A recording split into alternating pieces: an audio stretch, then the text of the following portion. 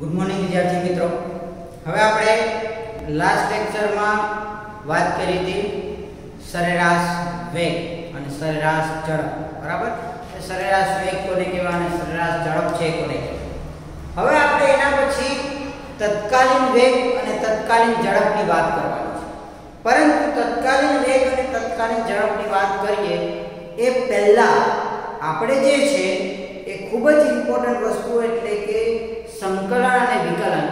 એમાંની જે અમુક ફોર્મ્યુલાઓ છે એ આપણે અત્યારે સમજવાનો પ્રયત્ન કરશું જે તમારે આ ચેપ્ટર પૂરતી ઉપયોગી છે જેમ આપણે આગળ જશું એમ વધારાની ફોર્મ્યુલાસ છે એ આપણે આગળ સમજતા જશું પરંતુ અત્યારે આપણે જે બે ફોર્મ્યુલા સમજવાની છે એ ખાસ ધ્યાન આપીને સમજીએ ખૂબ જ ઇમ્પોર્ટન્ટ છે કેમ કે આના ઉપર જ તમારે આગળના બહુ બધા દાખલાઓ છે ગણવાના છે ઓકે તો સંકલન એટલે આપણે વિકલન અને સંકલનની વાત કરવાની છે. એટલે વિકલન અને વિકલન અને સંકલન. રેડી હવે વિકલન અને સંકલનમાં પહેલી જે ફોર્મ્યુલા છે, એ છે ફોર એક્ઝામ્પલ x ની. એટલે તમને આપેલું છે કે d dx of x to n. એનો મતલબ કે x ની n ઘાતનું આપણે x ની n ઘાતનું વિકલન કરવામાં ખાસ ધ્યાન રાખો ઘાત પેલા આગળ આવે એટલે કે n x ની n 1 n x ની n 1 ફોર એક્ઝામ્પલ તમને આવું આપેલું છે કે d dx ઓફ x ની 5 તો શું થશે પેલા 5 આગળ આવશે 5 x ની 5 1 એટલે કે 5 x ની 4 રેડી ખબર પડી આ વસ્તુઓ ખાસ ધ્યાનમાં રાખજો આની આપણે આગળ જરૂર પડશે ઓકે ફોર એક્ઝામ્પલ તમને આમાં જ આપેલું છે કે dy dx ઓફ x ની -4 તો આપણે આપણી પેટર્ન પ્રમાણે ચાલવાનું છે શું કરવાનું પહેલા -4 ને આગળ લેવાનું x ની -4 1 ઘાતમાં 1 નો ઘટાડો થાય એટલે -4 x ની -5 એટલે કે આપણે શબ્દોમાં બોલીએ તો એવું થાય કે ઘાત આગળ આવશે અને પછી ઘાતમાં 1 નો ઘટાડો થશે અથવા તો ઘાત ગુણાકારમાં આવશે અને ઘાતમાં 1 નો ઘટાડો થશે હવે તમને x ની જગ્યાએ જો t આપેલું તમને x ની જગ્યાએ t આપેલું હોય તો પણ કઈ ફરક નહીં પડે આપણે સેમ પેટર્ન થી કરવાનું છે t હોય ભાઈ t રેસ ટુ n 1 આવે બરાબર તો એનાથી કોઈ ફરક પડશે નહીં ઓકે તો આ વસ્તુઓ છે ખાસ તમારે ધ્યાનમાં રાખવાની છે ક્લિયર હવે આપણે વાત કરવાની છે આગળ સંકલનની તો સંકલનમાં આપણે વાત કરવાની છે કે સંકલનનો સિમ્બોલ થશે આ રીતના ઓકે આ થશે સંકલનનો symbol x n dx x એટલે કે dx ની સાપેક્ષ તમે x ની n ઘાતનું શું કરો છો સંકલન તો અહીંયા વધારો થશે x ની n 1 ના છેદમાં શું આવશે તો કે n 1 ઘાતમાં 1 નો વધારો થશે અને ઘાત છે ભાગાકારમાં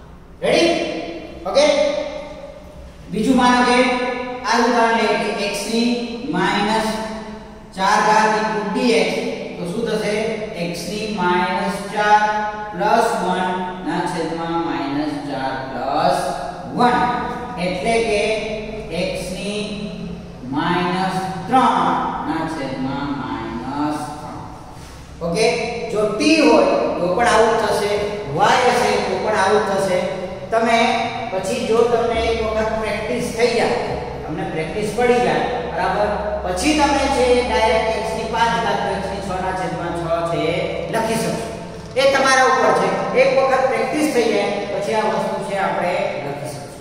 ક્લિયર ડાયરેક્ટ આ દર્શાવવું દરેક જગ્યાએ આ વસ્તુ દર્શાવવી કમ્પલસરી નથી પરંતુ એક વખત તમારી ગ્રીપ આવી જવી જોઈએ ઓકે ત્યાં સુધી આપણે આ વસ્તુ છે શરૂઆતના એક્ઝામ્પલમાં આપણે વસ્તુઓ છે એ દર્શાવશું પછીના જે એક્ઝામ્પલ આવશે ક્લિયર હવે આના સિવાય બીજી સંકલન અને વિકલનમાં શીખવાનું છે વિકલન, ઓકે, અને સંકલન. જો, આમાં કોઈ પણ એક પેટર્ન યાદ રાખો. કોઈ પણ તમે એક પેટર્ન યાદ રાખી લો, એટલે બાકીનું બધું છે તમને યાદ રહી જશે. ફોર એક્ઝામ્પલ તમને આપણે એવું કહીએ કે sin નું વિકલન d dx of sin x okay sin નું વિકલન થશે cos x સમજો કોઈ પણ એક તમારે ચાર ફોર્મ્યુલા છે ચારમાંથી કોઈ પણ એક યાદ રાખી લો જેમ કે sin નું શું થાય cos હવે આપણે શું કરીએ તો કે sin નું સંકલન ઓકે sin x dx યાદ રાખો विकलन प्लस cos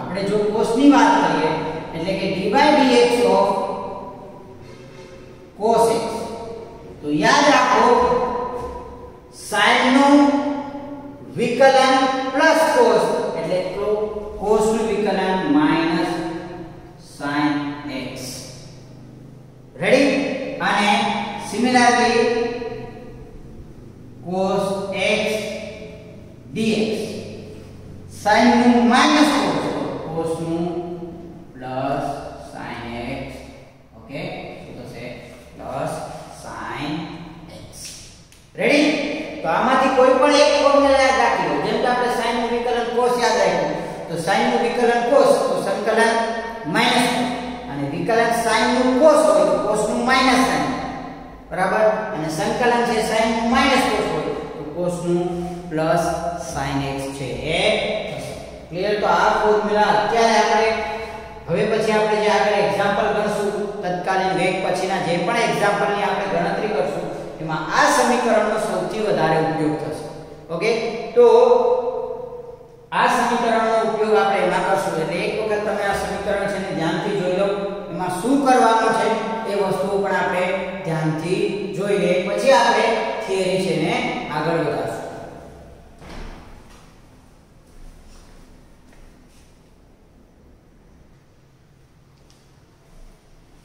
ઓકે, તો આપણે સંકલન વિકલન જોયું. હવે આપણે, આપણી જે થિયરી છે, એને આગળ વધારશું. લાસ્ટ લેક્ચરમાં આપણે જે વાત કરી, બરાબર? એ એટલે કે સરેરાશ વેગ અને સરેરાશ ઝડપ ઓકે? હવે આપણે તત્કાલીન વેગ અને તત્કાલીન ઝડપની કે તત્કાલીન વેગ કોને કહેવાય અને તત્કાલીન ઝડપ કોને કહેવાય તો હવે આપણે જે વાત કરવાની છે કોની તો કે તત્કાલીન વેગની આપણે અત્યારે વેગ પૂરતી વાત કરીએ તો કે તત્કાલીન વેગ રેડી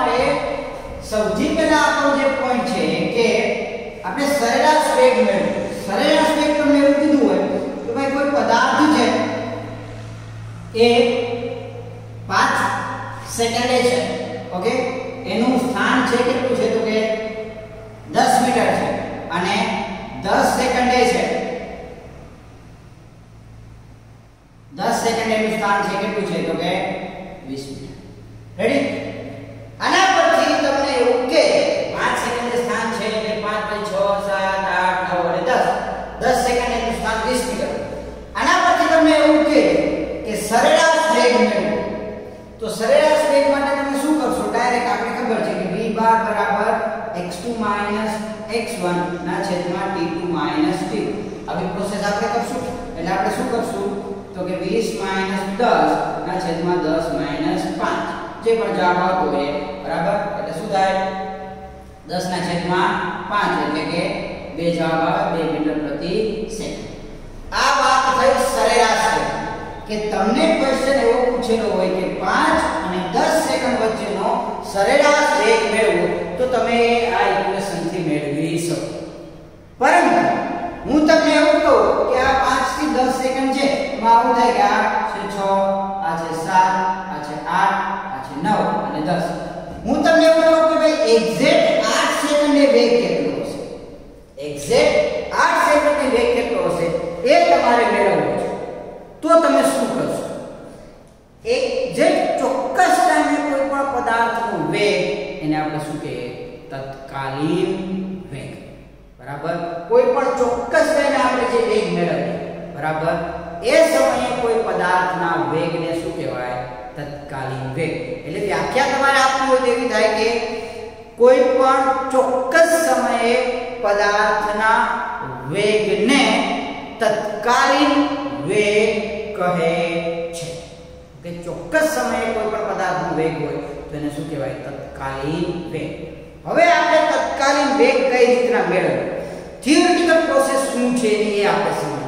કે હવે આપણે આઠ પાસે જોવું છે એક્ઝેક્ટ આઠ આગળ મેળવવું તો આપણે શું કરશું? જો,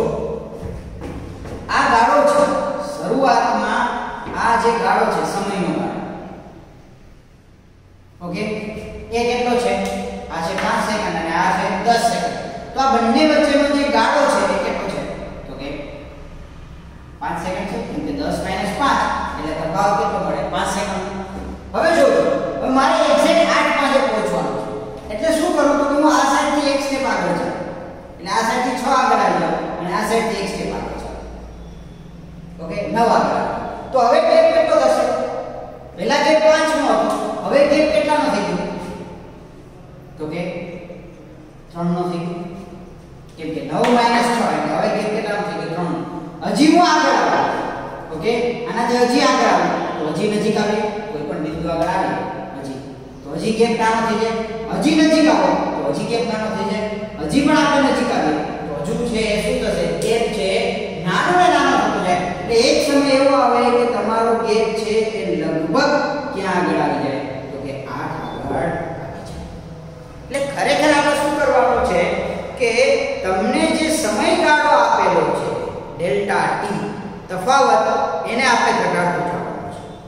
એટલે એક સમય એવો આવશે કે એ સમયે એક્ઝેક્ટ તમારે જે જગ્યાએ વેગ જોઈએ છે એ જગ્યાએ તમને વેગ છે મળી જશે.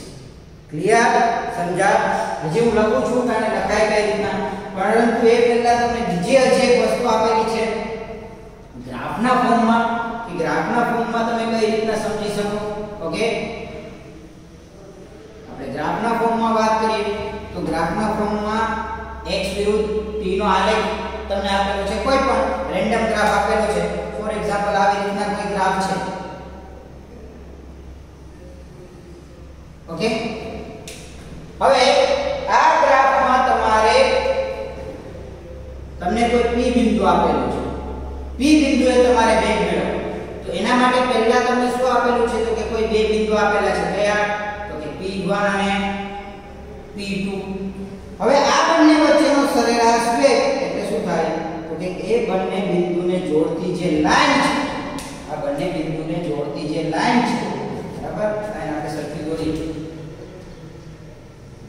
p1 અને p2 એ બંનેને જોડતી જે લાઈન છે એ લાઈનનો જે ઢાળ હોય એ લાઈનનો જે ઢાળ હશે એ તમને શું આપશે તો કે p1 અને p2 બિંદુ વચ્ચેનો સરેરાશ વેગ સમજો આ જે લાઈન છે એ તમને શું આપે p1 અને p2 બિંદુ વચ્ચેનો સરેરાશ વેગ છે આપશે રેડી પરંતુ જો આપણે એક્ઝેક્ટ p બિંદુ આગળ જોઈએ એક્ઝેક્ટ p બિંદુ આગળ જોઈએ તો શું કરશું તો કે p1 p2 હતું એની જગ્યાએ જેવું આગળ કર્યું બે બિંદુ આગળ લઈ આવીએ આપણે આને કહી દઈએ p3 અને p4 હજી જો આગળ લઈ આવીએ એટલે કે p5 અને આ થશે p6 તો જેમ જેમ આપણે આ બિંદુઓ નજીક નજીક લેતા આવીએ એ રીતના ક્યાં પહોંચી જશું આપણે એક્ઝેક્ટ t પાસે તે પહોંચી ઓકે થિયરી થોડી અટપટી છે પરંતુ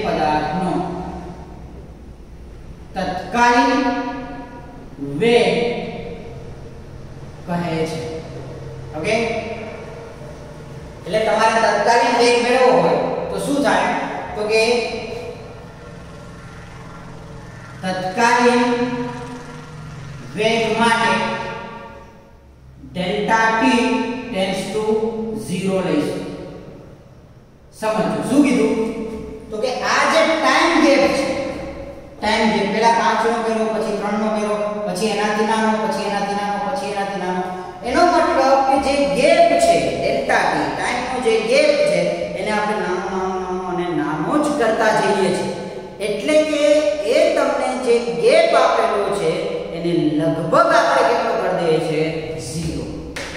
તાત્કાલિક વેગ માટે તમને જે ટાઈમ ગેપ આપેલો છે, એને આપણે શું કરી દઈએ છીએ લગભગ 0 છે, એ કરી દઈએ છીએ. બરાબર? એટલે કે જો તમારે તત્કાલીન વેગ લખવો હોય, તત્કાલીન વેગનું સમીકરણ લખવું હોય, તો v શું થાય? તો કે limit delta t tends to 0 delta x upon t tends to 0 delta x upon delta t અને જ્યારે તફાવત ખૂબ જ નાનો હોય ત્યારે તફાવતને વિકલનના સ્વરૂપમાં લખી શકાય એટલે થશે v dx dt યાદ રાખો તફાવત જ્યારે ખૂબ જ નાનો હોય ત્યારે તફાવતને વિકલનના સ્વરૂપમાં લખી શકાય આ થશે તત્કાલીન વેગનું સમીકરણ આ ખાસ યાદ રાખજો v dx dt આના પર આપણે એક્ઝામ્પલ છે એની ગણતરી છે કરવાની છે ઓકે સિમ્પલ છે આનો એકમ પણ કેટલો થશે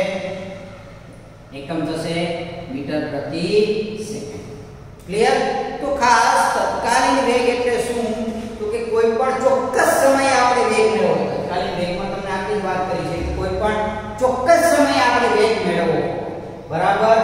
તો એ ચોક્કસ સમયનો વેગ, એટલે એને શું કહેવાય? તત્કાલીન વેગ. રેડી હવે તમારે જે જોવાનું છે આ આ સમીકરણ તમારે યાદ રાખવાનું છે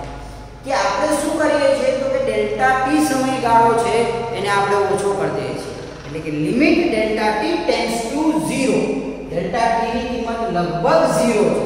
ઓકે અને જો તફાવત છે એ ખૂબ જ નાનો હોય, ડેલ્ટા t ટેન્ડ્સ ટુ 0 એટલે તફાવત ખૂબ જ નાનો હોય તો તફાવતને વિકલનના સ્વરૂપમાં લખી શકાય ક્લિયર આ વસ્તુ એક વખત ધ્યાનથી જોઈ લો હવે આપણે આને આધારિત એટલે કે સરેરાશ વેગ ઓકે અને તત્કાલીન વેગને આધારિત ટૂંકમાં આપણે એવું કહી શકીએ કે સરેરાશ વેગ સરેરાશ ઝડપ અને તત્કાલીન વેગને આધારિત આપણે દાખલાઓ છે એ ગણીશું ક્લિયર ઓકે ચલો અને બીજી આમાં તમને વસ્તુ એક એ કીધી છે કે તત્કાલીન ઝડપ ઓકે જો પદાર્થ છે જો પદાર્થ સુરેખ રેખા પર સુરેખ રેખા પર ગતિ કરતો હોય ગતિ કરતો હોય તો તેનો તેની સરેરાશ ઝડપ અને તત્કાલીન ઝડપ સમાન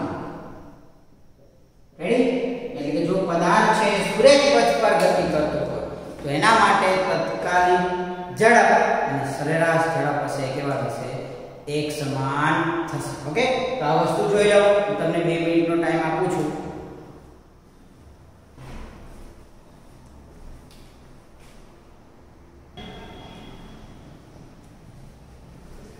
ઓકે તો હવે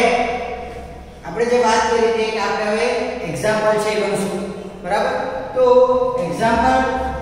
પહેલું એક્ઝામ્પલ જે તમને આપેલું છે, એટલે કે 3.1 આકૃતિ તમને આપેલી હશે તમને શું કીધું છે? તો કે કાર સુરેખ રેખા પર ગતિ કરે છે. જેમ કે આકૃતિમાં દર્શાવેલ રેખા કઈ ઓપી એટલે કે કાર છે એ આ રેખા ઉપર શું કરે છે? ગતિ કરે છે. આ આપણે ખબર છે કેમાં હોય? મીટરમાં. હવે જો શું કીધું આ કાર 18 સેકન્ડમાં એટલે ટાઈમ કેટલો આપ્યો 18 સેકન્ડ પહેલો કિસ્સો 18 સેકન્ડમાં ક્યાં જાય O થી P એટલે કે 18 સેકન્ડમાં ક્યાં પહોંચે છે O થી P બિંદુ સુધી પહોંચે રેડી અને 6 સેકન્ડમાં P થી Q પરત એટલે કે P થી Q આવવામાં પાછો કેટલો ટાઈમ લાગે તો કે 6 સેકન્ડનો ટાઈમ છે તમને લાગે છે ઓકે તો બે કિસ્સામાં પહેલું કાર O થી P જાય ત્યારે અને કાર O થી P પર જાય Q પર પાછી એટલે પહેલા કિસ્સામાં શું છે પહેલા આપણે પહેલા કિસ્સામાં તે ગણતરી કરીએ ઓકે A માટે એ માટે તમારે શું મેળવવાનું છે સરેરાશ વેગ અને સરેરાશ ઝડપ જો ખાસ ધ્યાન આપજો પહેલા આપણે સરેરાશ વેગ મેળવીએ તો સરેરાશ વેગ યાદ કરો સમીકરણ શું હતું તો કે સરેરાશ વેગ બરાબર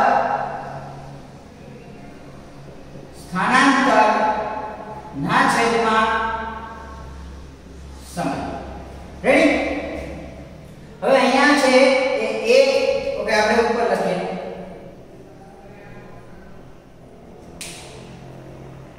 એ કોના માટે છે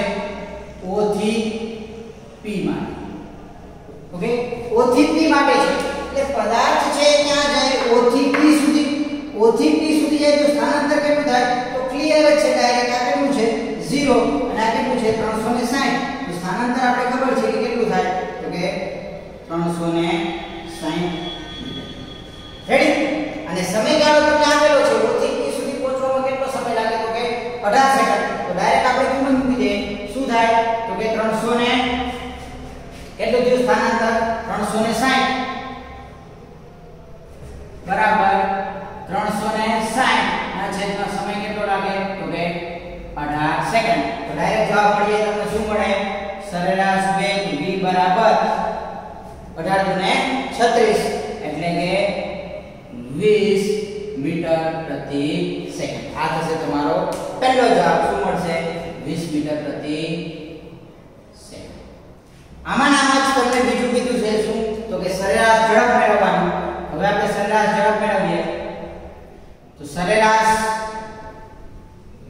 ઝડપ સરેરાશ ઝડપ બરાબર શું થશે તો કે પથ લંબાઈ ના છેદમાં સમય તો અહીંયા ધ્યાન આપો O થી P સુધી પહોંચે ત્યાં સુધીમાં પથ લંબાઈ પણ કેટલી થાય 360 કેમ કે ટોટલ તમારે ગણવાનું છે એટલે પથ લંબાઈ કેટલી થાય 360 તો આનો જવાબ પણ તમને શું મળે તો કે 360 અને સમય કેટલો છે 18 એટલે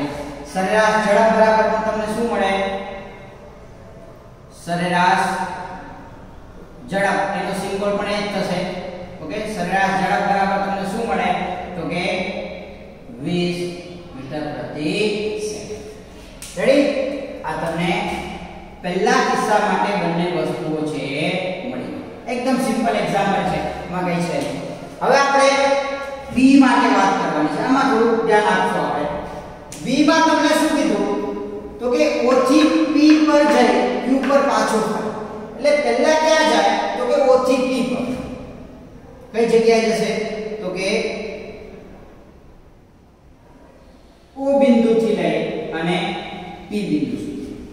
O થી P પર જાય અને પછી પરત ક્યાં ફરે તો કે P થી Q એટલે કે P બિંદુથી Q બિંદુ શું થાય છે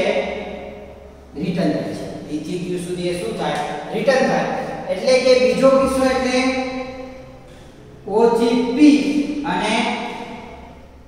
P થી Q માટે આપણે વાત કરવાની છે ઓકે O થી P અને P થી Q માટે તો O થી P અને P થી Q માટે ફરી પાછી વસ્તુ હતી એ જ લખશું આપણે પહેલા શું લખશું સરેરાશ વેગ તો સરેરાશ વેગ બરાબર શું થાય તો કે ના છેદમાં સમય હવે અહીંયા અહીંયા સ્થાનાંતર કેટલું થશે? તો આપણે ખબર છે કે સ્થાનાંતર એટલે અંતિમ સ્થાન અને પ્રારંભિક સ્થાન વચ્ચેનું અંતર. પછી એ કઈ જગ્યાએ કયા માર્ગે ફરીને આવ્યો એની સાથે આપણે કઈ લેવા દેવા છે નહીં. આ વસ્તુ ખાસ તમારા સ્થાનાંતરમાં આપણે જે નોટ કરી દઈએ. એટલે સ્થાનાંતર એટલે આ અંતર. ઓકે? તો સ્થાનાંતર કેટલું થાય તો કે 240 કેમ કે સ્થાનાંતર એટલે અંતિમ માઇનસ પ્રારંભિક એટલે 240 માઇનસ 0 કરો તો સ્થાનાંતર તમને શું મળે તો કે 240 તમને શું મળે? 240 ના છે. હવે સમયગાળો બદલાશે સમયગાળો શું થશે? તો કે જો, O થી P સુધી જોવા જવાના 18 સેકન્ડ અને P થી Q આવવાના 6 સેકન્ડ એટલે સમયગાળો કેટલો થાય? તો કે 18 પ્લસ 6 કેટલા મળે તમને? 18 પ્લસ 6 એટલે કેટલા થાય? તો કે 240 ના છેદમાં 24 રેડી એટલે તમને શું મળે તો કે તેથી સરેરાશ વેગ v બાર તમને કેટલો મળે તો કે 10 મીટર પ્રતિ સેકન્ડ ઓકે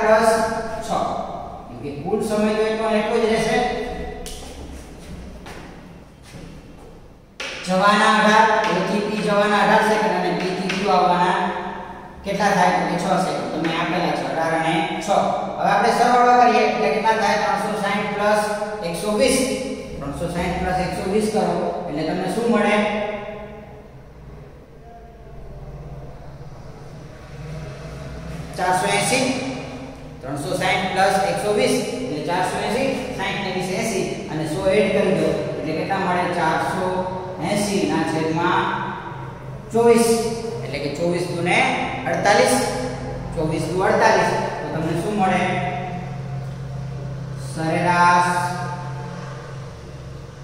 ઝડપ એને પણ v બાર બરાબર 20 મીટર પ્રતિ સેકન્ડ એકદમ ઈઝી એક્ઝામ્પલ છે ઓકે બાકી એટલું બધી ખાસ છે નહીં ખાલી તમારે પથ લંબાઈ અને સ્થાનાંતર તમને ગણતા આવડે એટલે એક્ઝામ્પલ છે એકદમ સરળ છે ઓકે તો આ એક્ઝામ્પલ છે પહેલા લખી લો પછી આપણે આના પછીનો એક્ઝામ્પલ છે એને આપણે આગળ વધારીએ છીએ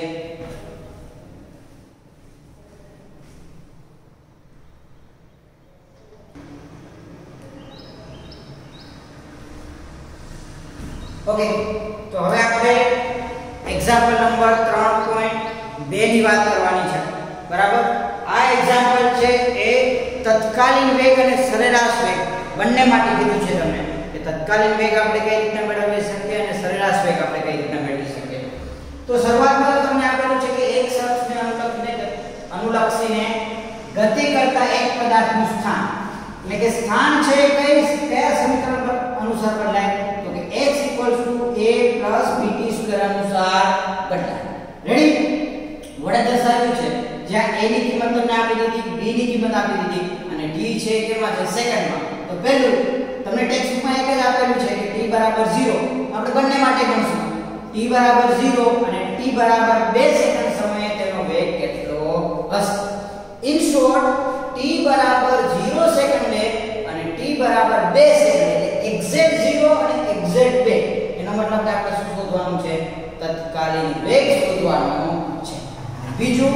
2 સેકન્ડ અને 4 સેકન્ડ વચ્ચે સરેરાશ વેગ કેટલો છે એ પણ આપણે શોધવાનો છે તો સૌથી પહેલા તો આપણે જે વસ્તુઓ આપેલી છે એ લખીએ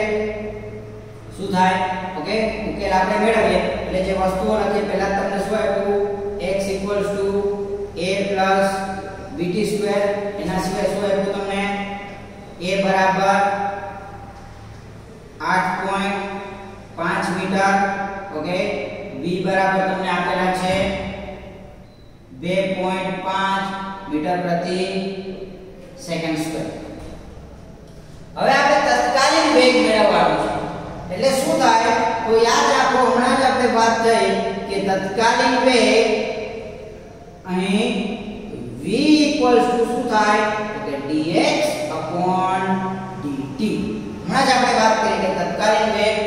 બરાબર શું થાય dx dt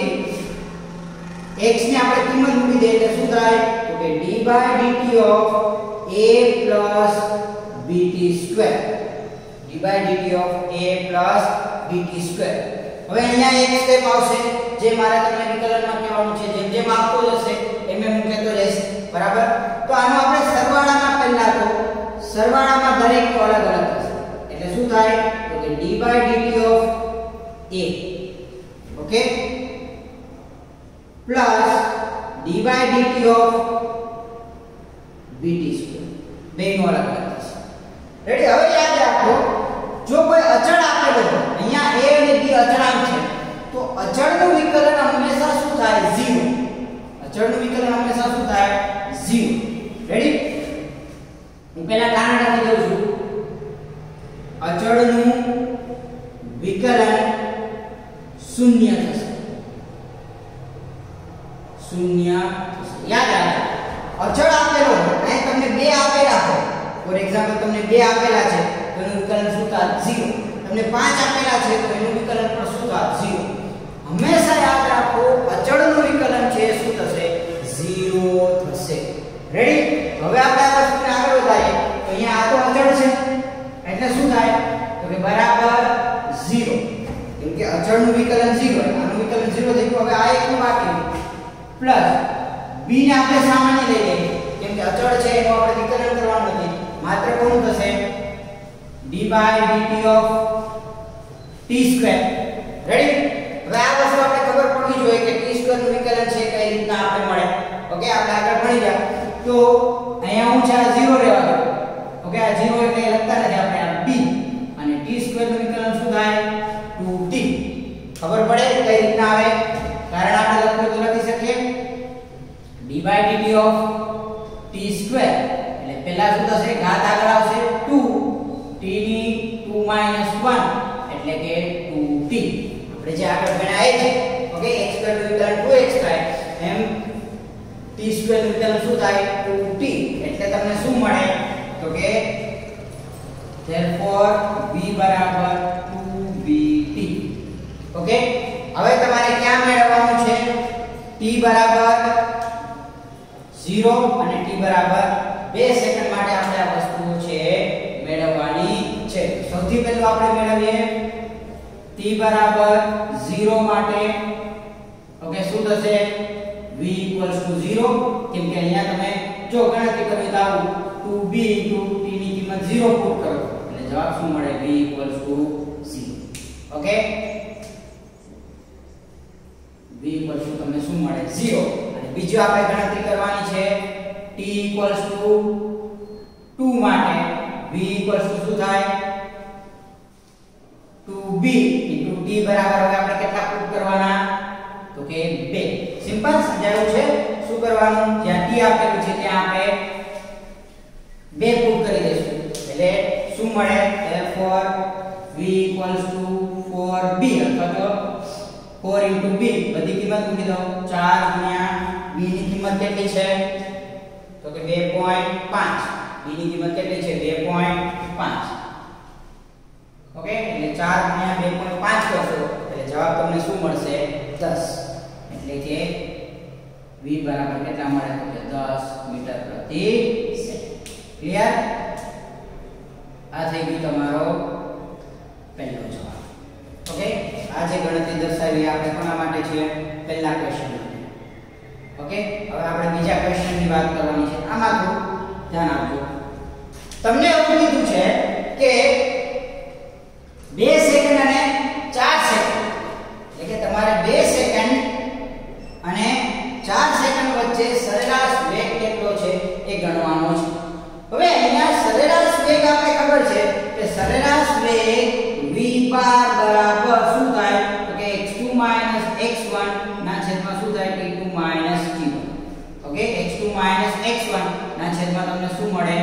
t2 t1 પરંતુ અહીંયા પ્રોબ્લેમ શું છે તો કે x1 ને x2 તો આપણે ડાયરેક્ટ આપેલા નથી એટલે આપણે શું કરશું તો કે આને આવી રીતના લખશું શું તો કે x એ 2 એટલે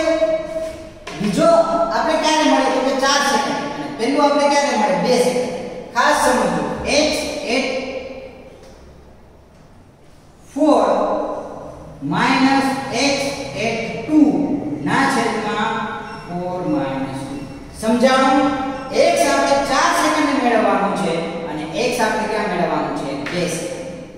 હવે સમજવામાં કરવાનું શું છે? X4 x2 એટલે એમાં કઈ કન્ફ્યુઝ થવાની જરૂર નથી. આપણી જોડે જે x નું સમીકરણ છે, એટલે કે આ સમીકરણ. X નું આપણી જોડે જે સમીકરણ છે, એમાં x એ 4 એટલે t ની જગ્યાએ શું મૂકી દેવાના? 4 અને x એ 2 એટલે t ની જગ્યાએ તમારે શું મૂકી દેવાના? 2 કોઈ પણ પ્રકારનું કન્ફ્યુઝન નહીં. 4 એટલે t ની જગ્યાએ 4 એટલે આપણે સેકન્ડ જ મેળવવાનો છે ઓકે t 2 સેકન્ડ અને 4 સેકન્ડ એટલે 2 એટલે 4 સેકન્ડ અને x2 એટલે 4 સેકન્ડ અને x1 એટલે 2 સેકન્ડ તો 4 સેકન્ડ અને 2 સેકન્ડ એટલે t બરાબર પહેલા આપણે 4 મૂકશું માઈનસ t બરાબર આપણે શું મૂકશું 2 જો ધ્યાન આપો કઈ રીતના એટલે અહીંયા શું થશે a b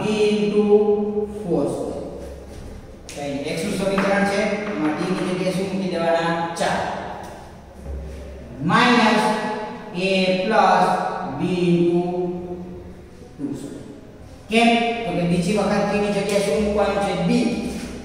એટલે કે t ની જગ્યાએ તમારે શું મૂકવાના છે 2 તો આપણે શું મૂકી દીધા t ની જગ્યાએ 2 મૂકી દીધા રેડી અને છેદમાં તો તમારું જે સિમ્પલ છે એ છે શું છે તો કે બે જવાબ આપશે 4 2 હવે આપણે આનું સાદુરૂપ આપી દઈએ પહેલા પછી આપણે કિંમતો મૂકશું એટલે સાદુરૂપ તમે આપો તો શું થાય a 16b 4 નો વર્ગ 16 એટલે 16b માઈનસ ની અંદર ગુણીએ માઈનસ a 2 નો વર્ગ 4 માઈનસ 4b ના છેદમાં 2 એટલે તમને શું મળે તો કે a કેન્સલ થઈ જાય એ શું થઈ જશે કેન્સલ 16 માઈનસ 4 એટલે 12 એટલે કેટલા મળે 12b ના છેદમાં 2 એનો મતલબ કે તમને શું મળે therefore b bar equals to 6b સીધી વાત છે કેટલા મળે 6b b ની કિંમત આપણી જોડે છે એટલે તેથી b bar equals to 6 into b બરાબર કેટલા છે તો કે 2 પોઈન્ટ ને 5 ઓકે b બરાબર કેટલા છે 2 પોઈન્ટ ને 5 ઓકે તો આપણે કેટલા મળે ગણતરી કરી લેવાની કેલ્ક્યુલેટરમાં b બાર બરાબર કેટલા મળશે 15 મીટર પ્રતિ સેકન્ડ ક્લિયર કેટલા મળશે તમને 15 મીટર પ્રતિ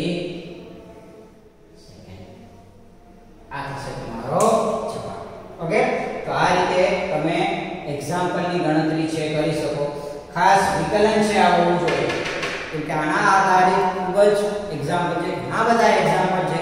કે જે તમારે જીનીટ માટે ઉપયોગી થઈ શકે આના ઓકે? એનું આપણે આગળના લેક્ચરમાં ડિસ્કસ કરશું કે તમને વેગ આધારિત અથવા તો તત્કાળ તત્કાલીન વેગ આધારિત જી નીટમાં કેવા પ્રકારના પ્રશ્નો છે એ પૂછાય છે ક્લિયર